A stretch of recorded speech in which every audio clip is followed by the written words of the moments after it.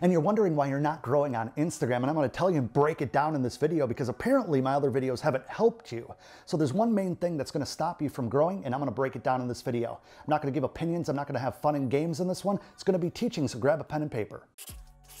What's going on guys? Adam Ivy, sellmusic.com, here to help you go further faster in your music career by sharing proven marketing techniques and strategies that are gonna help transform that passion for making music into a legitimate business that's gonna provide you with freedom and fulfillment. Of the most important things in life in general. Now, one crucial, fatal mistake that I see a lot of you guys making over on Instagram is the exact reason why we turned the camera on today to do this video. Uh, let me show you what I'm talking about. So one thing that a lot of you guys aren't understanding the importance of is the good old Instagram bio. I read a book a couple years ago called Blink by Malcolm Gladwell, great book. I'll have it in the description box below. And the whole purpose and premise of Blink is that you only have one chance to get a first impression. You can't go back and buy another one or get a redo, right? The first three seconds of any interaction over on Instagram or any of your social profiles for that matter are the most important because the, the person who is discovering your profile needs to make that determining factor of whether or not you're worth following. You're worth liking and, and, and engaging with and investing their time in. We think that social media is all about us, right? What we like to post, what we like, what we comment on, our friends and our family. I get that 100%. But if you're a music creator, if you want to build a music business within the music industry, we have to start looking at things like this like you're a business. So what I'm gonna do is I'm going to give an, an, an example, old school style, drawn on here. I'm not gonna have any pop-ups or anything special, but this is what we need to teach from. Now this is gonna be based on having a business profile on Instagram. However, it's very similar with a creator profile, and for the most part, it's the same when it comes to a personal profile. So the number one thing that we're going to be able to see first on a mobile phone especially is the person's username. What is your username? Your at name, right? So mine is at Adam Ivy. That's what you would see at the top here. Now the second thing down here is a profile name. I need you to understand that the profile name and the username are two different things.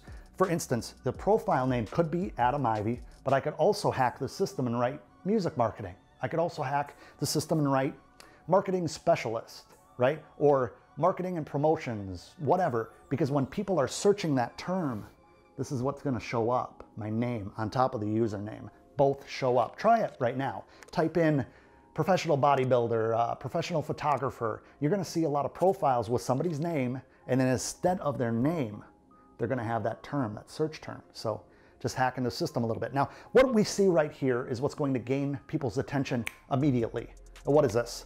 This is the profile photo. Profile photo needs to be a professional image, a professional I'm talking about perception here, guys. So when you go down your uh, notifications and somebody's liking or following or uh, engaging, leaving a comment on your, your stuff, you know, at least I do, that there's going to be people that catch your attention. Some of you guys catch my attention over on Instagram. Why?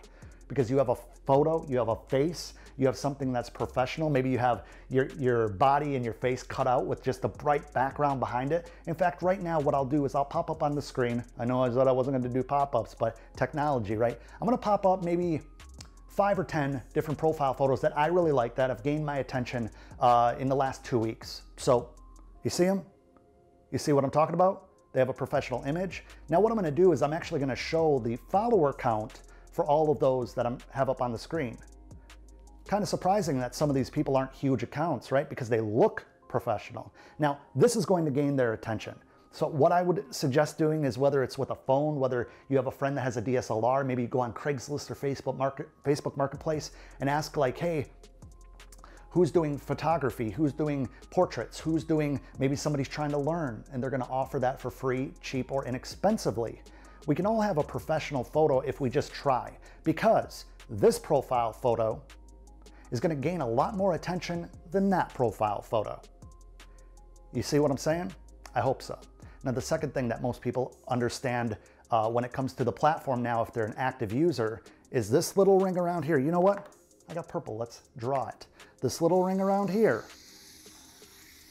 is usually purple and orange. I'm not looking at the app right now, so I apologize if it's not accurate, but I'm gonna go purple and red.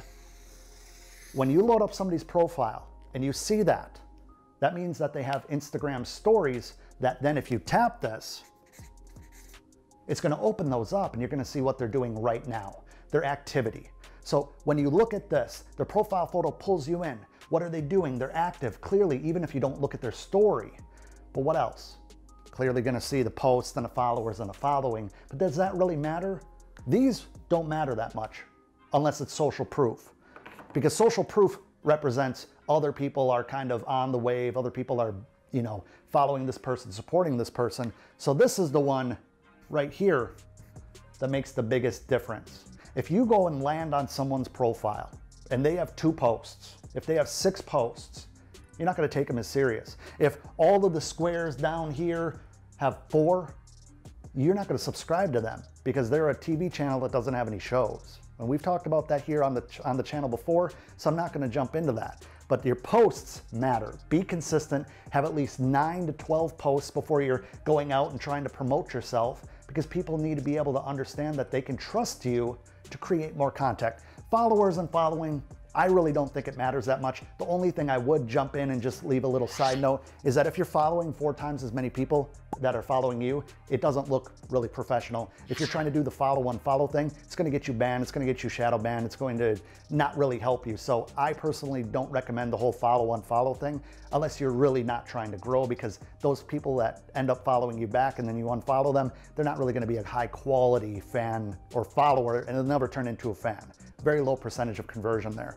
Now, what else are we talking about here? So you have a professional profile photo. You have Instagram stories on a regular. Now, the profile name, as I mentioned earlier in this video, is very important and it can be you. It can be a search term. It can be whatever you feel really categorizes you. And in fact, categor categorization comes into place here as well. So as a business page or a creator page, in when you're setting that up, you can choose if you're a photographer or a public figure or whatever, and that would be down here. But it really doesn't make much of a difference when it comes to this. So I'm talking about the structuring and the development of your profile bio. What we need to do next is have this section right here full of a few things. Now take notes. First and foremost, who are you? What do you do? I'm not talking about long form sentences here. I'm talking about keywords, long tail keywords. What's a long tail keyword? So a keyword would be producer, one word, just a word. Now, a long tail keyword would be uh, hip hop producer, uh, trap and urban producer, something like that, where it's a long tail. It's longer, right? It's more of a, it's close to a sentence structure without being a full blown sentence. You're not going to say, I'm a music producer and I like to rap on the side. That's not a long tail keyword. And if it is, it's a god awful one. So what we want to do here is we want to do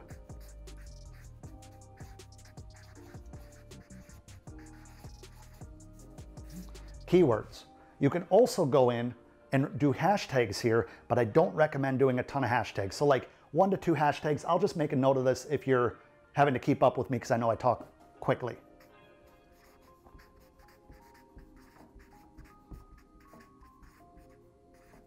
All right, so what do people need to know now? They know what you do, they know what your professional persona is. If you're a music producer, you're a music producer. If you are a chiropractor, you're a chiropractor. If you're a bodybuilder, photographer, cook, that's what you put here. Immediately, they should understand who you are, what you represent. Now from here, you can put a little bit of quirk in what you're interested in. Maybe this is what you do. Maybe you're a producer. Maybe you also have a business. So for instance, you could say something like,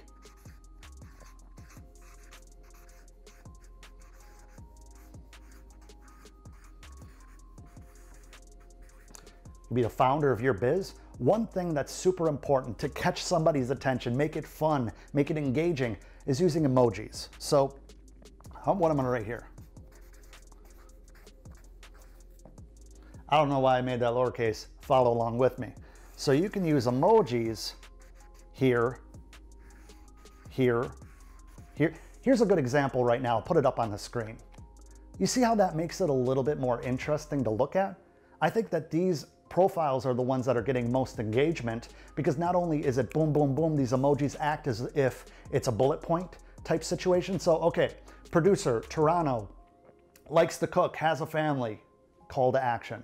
So that's what we're gonna work down to. Now, on a business profile, as well as I believe a creative profile, right here, is going to be the location. It's going to show like I'm from Orlando, Florida. So on mine, if you're on your phone, it might show Orlando, Florida. If you're from Toronto or Boise, Idaho or wherever, it's going to show there. So you don't have to add that there, but if it's part of your location, if it's part of your industry, if it's part of your identity, then put it there.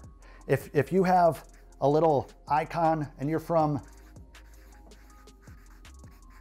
Toronto, put that there. Maybe even do hashtag Toronto because people in your area might be looking for producers in Toronto to link up with face to face. Maybe there's networking opportunities.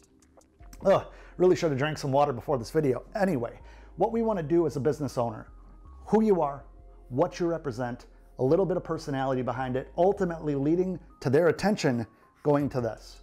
What is it? Call to action.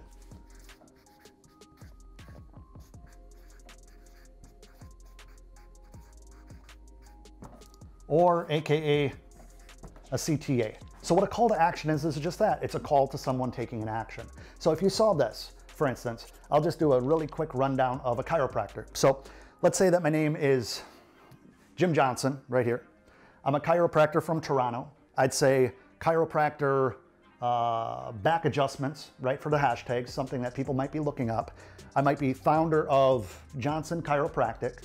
Um, right here, I might tell a little bit about myself uh, in business for 14 years. And then the call to action would be apply for a free adjustment. Check out videos of past adjustments. At, uh, listen to what my clients have to say. These different things that are not only going to provide value to your viewer, but they're also going to make someone more comfortable with you once they understand that, oh, okay, this is what this guy represents. Okay, I wanted to know more about him and he told me exactly where to go, so I don't have to waste time searching.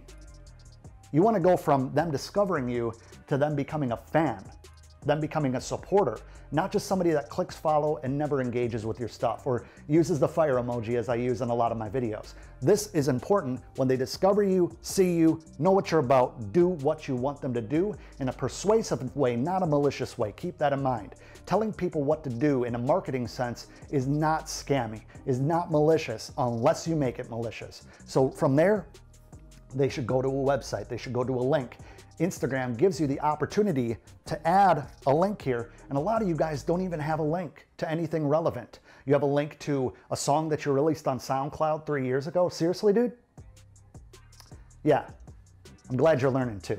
So the call to action could be like, hey, check out my link tree. Now, Linktree, I'm not associated with any of them. There's a lot of different services that'll do it. What a link tree will do will give you the opportunity to add maybe your YouTube channel and your SoundCloud or your Spotify song or whatever. You can add whatever you want. That's the great thing about it. If you have an Etsy or a LinkedIn or whatever you want to add there, cool. And I ultimately implore you or suggest that you create a custom domain. So let's say that I had a link tree. It could be Adam Ivy Links. It could be uh, meet Adam Ivy. It could be connectwithme.com, like uh, things that are available over on GoDaddy or whatever. Again, I don't have an affiliate link, but I will have a link to GoDaddy down below my profile or my this video, just so that you guys can go over there and start searching domains. Now, if you're a first-time user, a lot of these times you can actually get a URL, a domain name for like three bucks to $12. And this is going to be very beneficial to you in the future because guess what? When you have a new release on Spotify, and you have this long, blah, blah, blah, blah, blah, blah, blah, it's like four lines of a URL, it's not going to be conducive to somebody actually clicking it or remembering to do it. But if Jim Johnson Chiropractic, uh, you know, I'm, I'm just thinking of like funny brandable marketing URLs.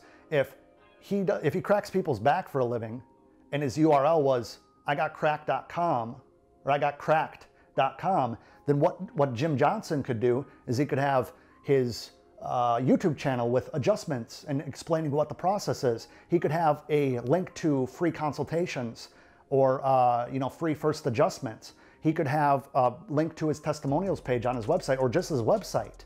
You get what I'm saying? Or he could even have a link to a Spotify playlist that he curated that's relaxing, right? Calming, things that he's promoting to his uh, clients and people that he hopes to become clients that would give a little bit more value on top of what he actually does as a business. What is your call to action? Is it just a one link? Do you have a link tree? And do you have a custom domain? Let me know in the comments below. Now, the last thing that's super important with all of this is making sure that you have curated Instagram story highlights. That's what they're called. Almost forgot. What we want to do is we want to create a highlight uh, preview image So it kind of gives a real professional look. And actually on the screen right now, I'll show you a few examples of this, mine included. And I can show you how to do that. If you want me to do a full tutorial on how to create really flashy, really professional looking uh, Instagram story highlight album cover art things, let me know in the comments below, and I'd love to do that for you. What you want to do is you want to have different representations of what you are or what you offer, who you are. Let's say you're a music producer. Let's say that you have music right here. Let's say that you're also into drum kits. You have a couple drum kits. And let's say that you're also into uh, doing vocal tags. Let's say that you're a voiceover guy like my buddy Donovan. You can have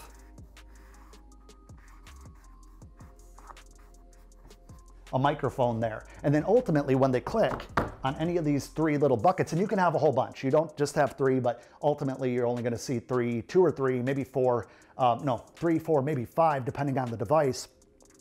But ultimately, when they click on that, maybe you have some beats available. Maybe you have some beat making videos. Maybe when you click on that, you have some previews or you have some images that you at one point posted here to your stories that you then saved and they're available forever down there for people to discover you and get more information. Think about a business card.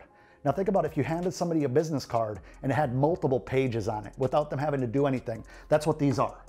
Now, if you had vocals, you could have examples of that. Ultimately, you want them to discover you, see who you are, gain their attention so that they care who you are, go down to a call to action, engage with you, take an action that's going to link them back to you, solidify a relationship, and then do business with you. And doing business doesn't have to be monetary, guys. Doing business could be listening to your song over on Spotify. Uh, business with you could be subscribing to you on Instagram. It's all about that action. It's all about that boom, okay, I got them. Maybe you have a, a call to action to go over and enter your email on the email list. And in return, I'm gonna give you a guide on five different stretches that you can do at home for back and neck health if you were a chiropractor.